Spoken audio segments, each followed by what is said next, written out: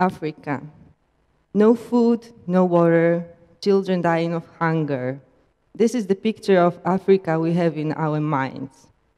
But actually, you might not know that in the edge of Sahara Desert lives a Kanembu tribe in which, despite the bad lands, despite the purity, they don't have a problem with malnutrition.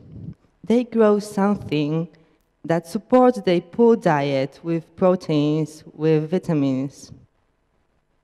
And it was so important for them that it was used as a currency.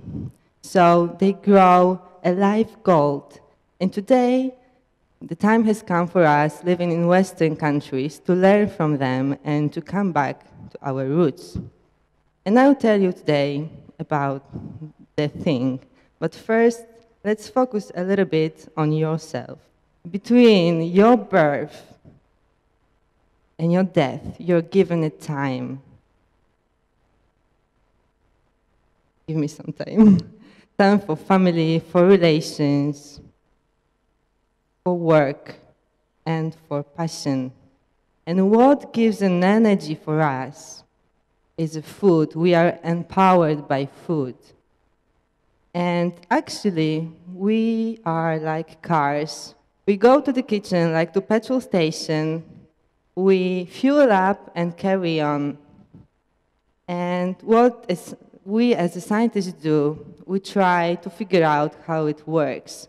We take our cells under microscope, we track the compounds, and the truth is universal. The better petrol, the faster you go. And from the molecular level of view, the quality of the food equals the quality of the life. And it's so easy to understand and so hard to do.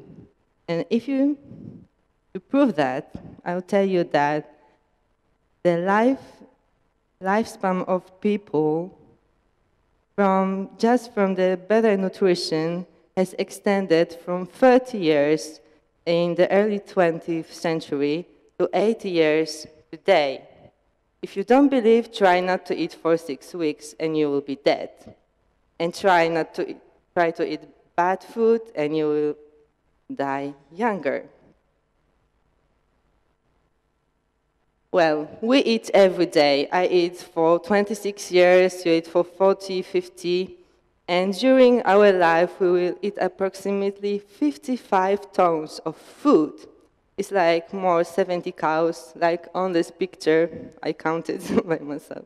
Yeah, and, yeah. and you know,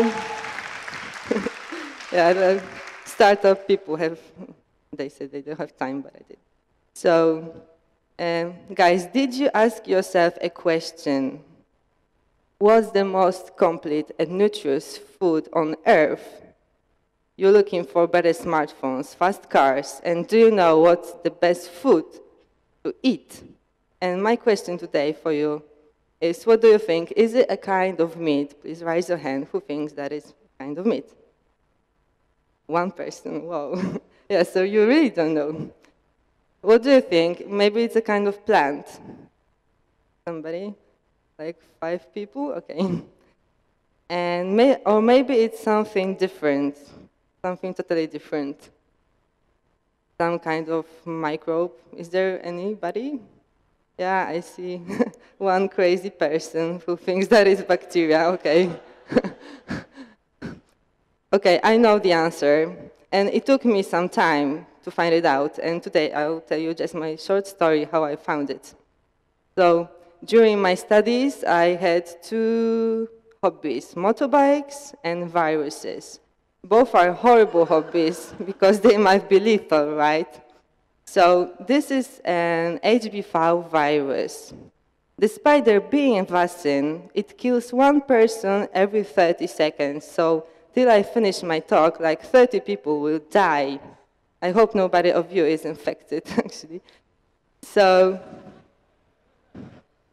it's 100 times more uh, dangerous, more infective than HIV. And I was holding it in my hands every day for 12 months to make my master degree. And I developed a test that detected this DNA of this virus in blood samples. And here comes interesting story about that, because when I finished my studies, I got a job, and you know, you have to make some blood tests, right? And when I get my results, I was so scary because some levels of the enzymes were the same as in my as a, in the blood of my patients, of my infected patients. So I thought, my God, during developing the test, I got infected, and that would be the horrible, the most horrible thing in my life, the most stupid. So then, what did I do? I used my test to check my blood, and finally it was negative. So what comes out, I did my blood test, the first one, after hard drinking night. So then I told myself, no viruses and no drinking at all. And then I started to work with that. These little uh, colorful dots are brain cancer cells. They are like space invaders. They conquer your brain, they grow, and they kill you slowly. But sometimes they look quite sweet, right? Yeah, they are sweet. but you know, it wasn't the thing I would like to spend my four or five years with the subject of cancer. And then I started to wonder if there is something in this huge microscopic world that doesn't kill but support the life, something that I would like to work and have fun entire my life. And I started to search and I found the thing that people in Africa known from ages, and it was the love from the first sight. Let me introduce spirulina. Uh, under the microscope, it looks like little green uh, spirals, hence the name. This is the most balanced and the best, the most nutritious food in the world. These little cells have every particle your body needs to live long and to stay healthy. Spirulina is a green microalgae, so it's a bacteria. Normally it lives in alkaline freshwaters like Chad Lake, and it turns the sunlight into nearly every particle our bodies needs to live. It was at the earth from the appearance of life. It was one of the first organisms that was making the oxygen for all the others. And it's at the beginning of the food chain. And today, uh, dig this, that daily dose of spirulina, which is a one tablespoon, is three grams. And it's equal to eating three kilos of different vegetables and fruits with regards of vitamin and minerals, but not, it's not the end. It has all essential proteins, all amino acids, like in one glass of milk, and all fatty acids, omega-3 and 4, you might hedge off, they are good for your heart, as in one fish serving. So imagine all that amount of food squeezed in just three grams and multiplying indefinitely just thanks to sun and to water. That's the superfood.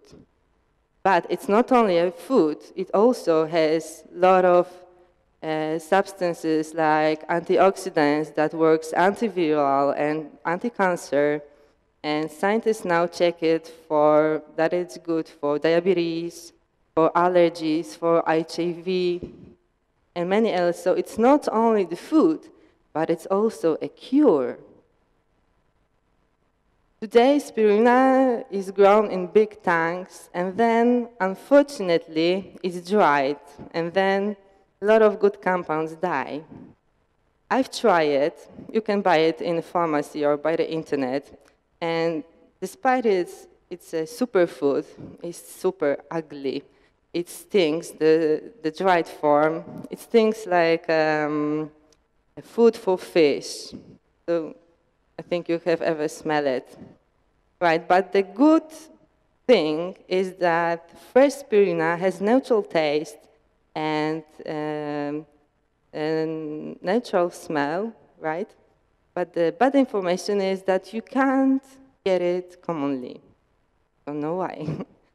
so my question is, have you ever tried the spirulina before? Guys, best food in the world. Ooh, like seven people. nice. Yeah, and what about the rest? What about the rest? Guys, don't you want to live long? yeah, I know. You live in a hurry. You don't have a time to think about balanced diet. So, what you, you eat junk food. Uh, it's normal. And who have ever eaten a cheeseburger?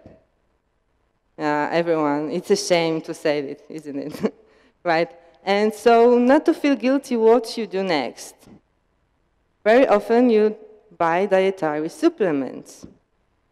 75% of Americans buy dietary supplements. I think that you ever try, for example, vitamin C. And you know, guys, you may be literally pissing away your hardly earned money because uh, the supplements are not the nutritional wonders the industry would have us believe, really. And so what's happened next? You develop diseases. And then people like me, poor students, scientists, spend hours in the labs fighting, trying to find a cure, risking their lives, right? That's the truth. And today I want to say stop, stop fake food, stop fake vitamins, and start eating smart. It's not so hard, right? People in Africa already know it. The scientists know it. The NASA want to feed its astronauts with spirulina. Spirulina has been proposed to be the major food during long-lasting uh, space missions. So, okay, space, Africa, it's quite far. So how about you, how about me? So we, with my friends, we are working on a device that will produce fresh spirulina at your home automatically. The only thing you have to do is just put the spirulina, water, and starting culture, the nutrition, you press the button, and you get the fresh spirulina every day, whatever you want. So I think that's the future of our kitchens. What you can do with the spirulina? Actually everything, because it has, as I told, the natural taste. You can add it to any food you want, to soup, to pasta, to drink, some banana smoothie, whatever. You can even feed your animal with that. Actually, uh, the breeders, for example, of uh, racing horses, use it as a secret ingredient. And as far as I know, the sportsmen that goes to the Olympic Games eat like 15 grams spirulina a day, and it's their secret as well. And good information for girls, it's so nutritious that you can put it on your face and have organic, homemade mask. So it's estimated that 30% of algae produced in the future we're going to use in the kitchen. So that's the future of our nutrition. And the rest will empower our cars, will empower our buildings. And actually, that's the future that is happening right now. This building was opened last year in Germany. And at the end, I'd like to think about a little bit about your future, guys. Well, you are really what you eat. You are what you eat.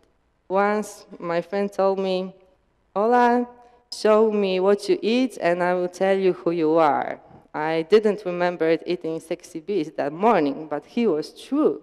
And you know, don't be cheap fake, fast as hamburgers. Because the food, your body, builds your cells from the food you eat. And you have a choice of what you are made of. So, guys, I, I wish you a good choices, and I hope that Spirulina will soon settle down into your houses, onto your plates. Thanks.